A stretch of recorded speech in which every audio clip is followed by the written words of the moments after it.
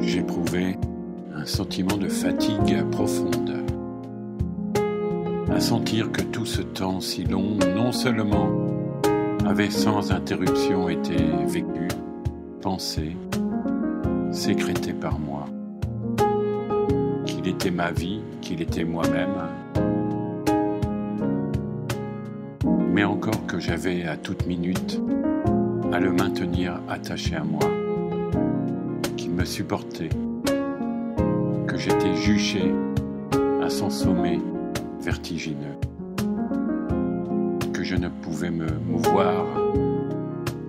sans le déplacer avec moi.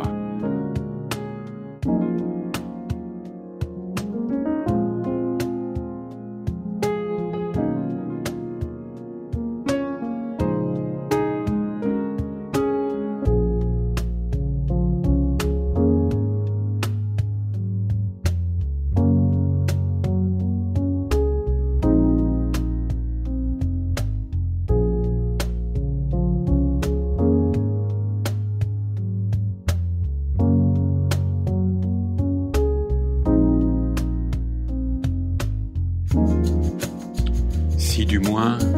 il m'était laissé assez de temps pour accomplir mon œuvre, je ne manquerai pas de la marquer au saut de ce temps dont l'idée s'imposait à moi avec tant de force aujourd'hui. Et j'y décrirai les hommes. Cela dut-il les faire ressembler à des êtres monstrueux, comme occupant dans le temps une place autrement considérable que celle si restreinte qui leur est réservée dans l'espace. Une place, au contraire, prolongée sans mesure, puisqu'ils touchent simultanément comme des géants plongés dans les années, à des époques vécues par eux, si distantes, entre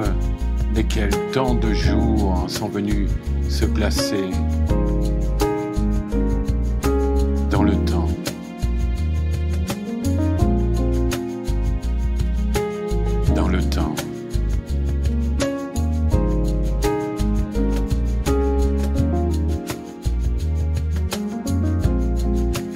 après la mort, le temps se retire du corps et, les souvenirs si indifférents, si pâlis,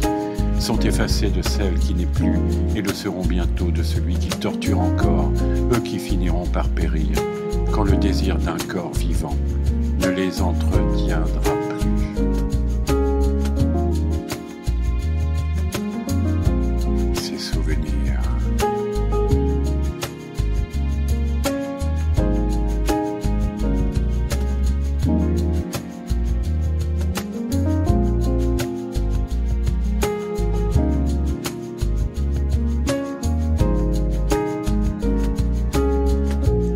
cette notion du temps incorporé,